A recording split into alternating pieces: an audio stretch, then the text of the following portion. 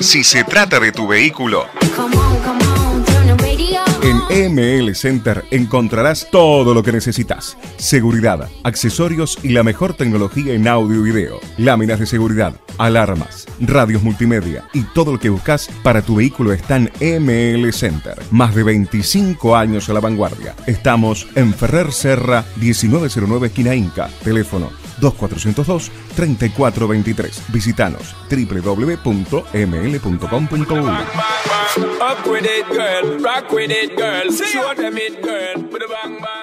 En las últimas horas hubo elecciones en la organización del fútbol del interior. Eh, hay un tuit de la doctora Andrea Valiente, que está muy vinculado obviamente a OFI, que dice histórico, año 1946 al 2018. En OFI fueron electas las señoras Graciela Cáceres y Mariana Fernández para integrar el Consejo Ejecutivo de OFI. Ocupar espacios en órganos de decisión contribuye a disminuir las brechas de género. Con Mariana Fernández estamos en contacto. Mariana, un gusto saludarla. Bienvenida. ¿Cómo le va? Hola, el gusto es mío. Este, muchas gracias por el espacio. Bueno, antes que nada, hace un tiempo atrás, un buen tiempo atrás, los colegas de Canal 10 la habían invitado a un programa y hacían una presentación que, si usted me permite, yo la quiero compartir con la audiencia tirando paredes, porque me parece muy interesante para conocer justamente no solamente a un dirigente de fútbol que tiene la particularidad de ser una dama y que va a integrar el Consejo Ejecutivo de la Organización del Fútbol Interior, sino conocer un poco de su vida. ¿Me permite un minuto? Sí, cómo no. Lo escuchamos, dale.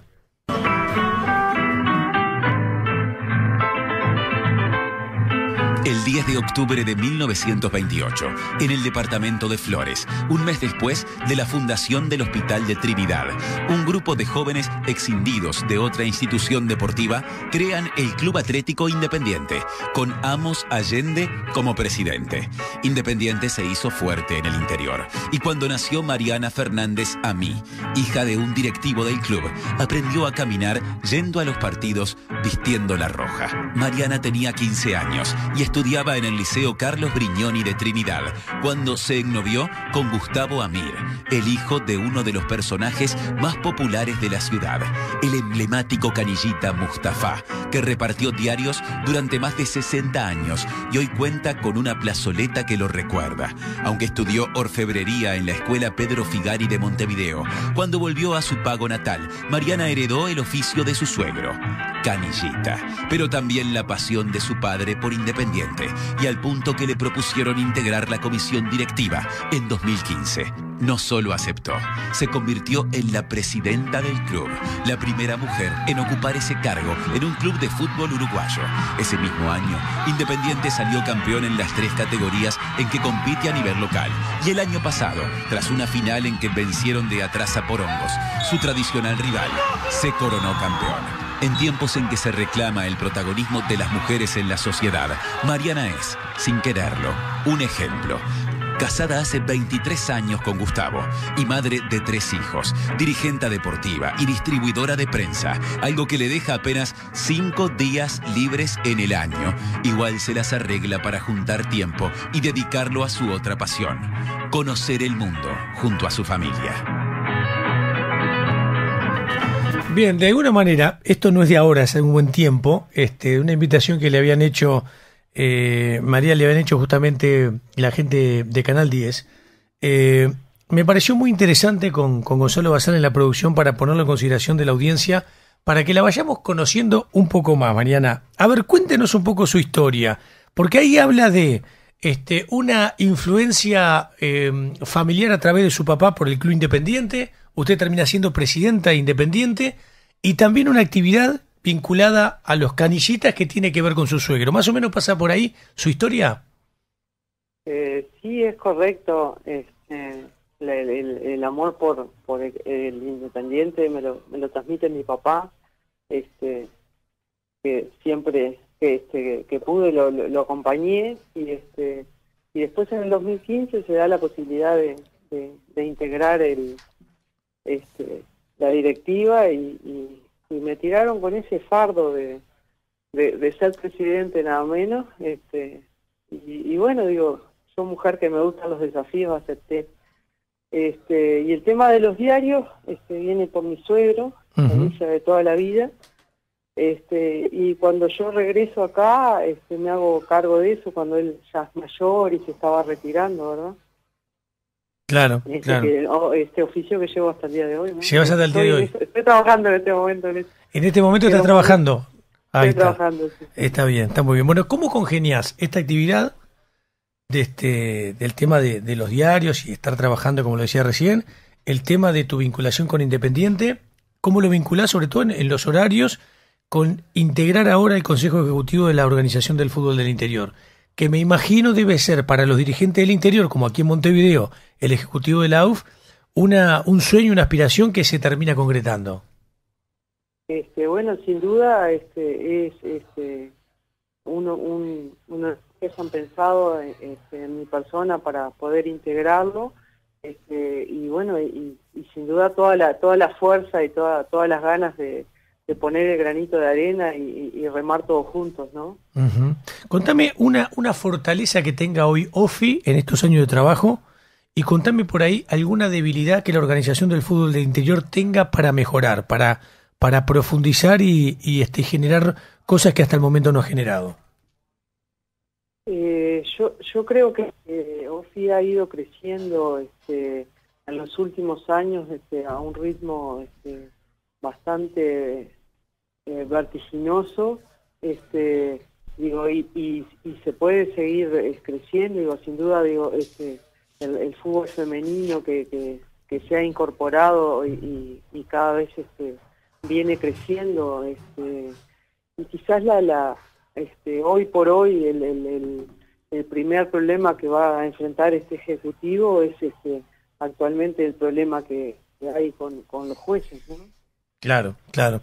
Eh, te consulto, Mariana, eh, ¿qué, ¿qué, ha quedado de la presidencia de Gustavo Vares? Porque obviamente al haber elecciones hubo cambio de presidente, cambio en los integrantes de la, del comité ejecutivo, el cual tú ahora integrás, pero dame alguna reflexión de lo que ha sido la conducción de Vares al frente de OFI.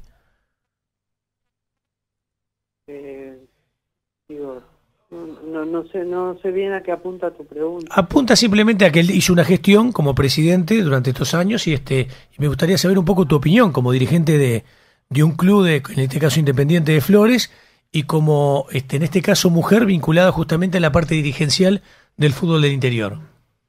Este, no, digo, yo, yo creo que él, él eh, ha tenido la capacidad de, de, de lograr apertura este, y de, de, de, posicionar a la OFI, ¿no? Este, han, se, han, se han, digo, él y, y, y el resto de, del Ejecutivo, ¿no? Que han, han hecho contacto con, con diferentes empresas y, y este y, y, han sido jugadores incansables para, para, para posicionar a, a, la OFI en el lugar que lo merecen. Claro, claro. ¿Y cómo ves vos qué, qué percepción tenés, si es que tenés este, alguna percepción o opinión formada, lo que está pasando en la Asociación Uruguaya de Fútbol? Y de hecho, un estatuto que todavía no se, no se aprobó, que se tiene que aprobar, con la inclusión ya definitivamente de la propia organización del fútbol del interior. Eh, digo, sin duda sería atrevido de mi parte opinar de algo este, de, desde afuera que uno lo conoce desde, desde los trascendidos de prensa y no desde la desde la cuestión interna, ¿no? Uh -huh. Este,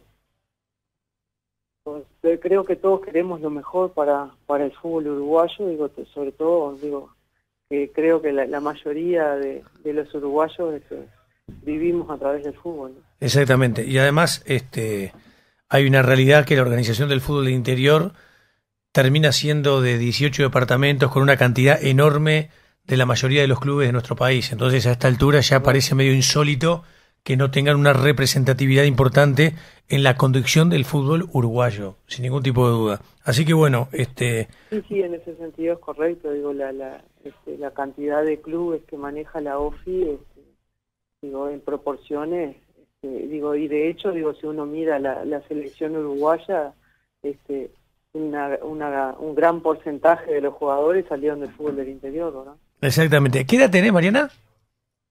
47. 47. ¿Y cuánto hace que estás vinculada directamente a la, a la parte directriz del fútbol del interior a través de Independiente?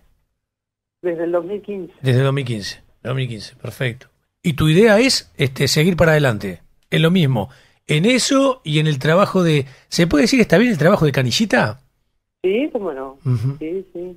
Este, digo, él eh, es lo que me, me, levanta todos los días y, este, y, me hace trabajar de lunes a y, y, por supuesto que le, les da de comer a mis hijos, que es un orgullo. Absolutamente. Te lo pregunto ya de chusma. Todo este desarrollo tecnológico muchas veces hace que, que muchos de los diarios lleguen estoy, a... Estoy en vía de extinción. Estás en vía de extinción. Pero todavía la seguís remando. Sí, por supuesto, siempre con una sonrisa para adelante. Está muy bien. ¿Cuántos hijos tenés? Que lo decía justamente el informe. Tres hijos. ¿De qué edad? Eh, 21, 16 y 14. Muy bien. ¿Y este y qué dice el marido de, de tu vinculación al fútbol? Y bueno, te diría que al principio rezongó bastante y me dijo, ¿estás loca? Y yo dije, bueno, si me dice que estoy loca debe ser porque tengo que seguir adelante. Porque a mí me encanta que me digan que no voy a poder con algo para... Para, generarte un desafío. Exactamente. Sí, totalmente, me encantan los desafíos. Exactamente, y aparte es una, es una inclusión ya, yo digo a esta altura casi definitiva, de la mujer en el fútbol. Sabes que nosotros tenemos un programa que sale a la mañana y a la tarde aquí en la capital, por radio 10 AM, que se llama Tirando Paredes, este, que llegamos a gran parte del interior. Y, este, y hemos incorporado hace cuestión de algo más de un mes ya los micros del fútbol femenino con una compañera periodista este, radial que lo hace de la mejor manera porque como decimos siempre el fútbol femenino llegó justamente para quedarse y también es incluir dentro de este grupo la voz este, y la presencia de una dama en esto que yo entiendo este definitivamente tiene que ser una cosa totalmente equitativa e igualitaria. Mariana, te agradecemos mucho por estar, queríamos de alguna manera presentarte en la sociedad en cuanto al microclima del fútbol y que sepa la gente del fútbol que dentro de la organización del fútbol del interior hay dos damas que integran el comité ejecutivo y tú justamente sos una. Gracias por estar, ¿eh? Bueno, la agradecida soy yo este, y un saludo para todos. Muy bien, Mariana Fernández pasó entonces en la mañana de Tirando Paredes.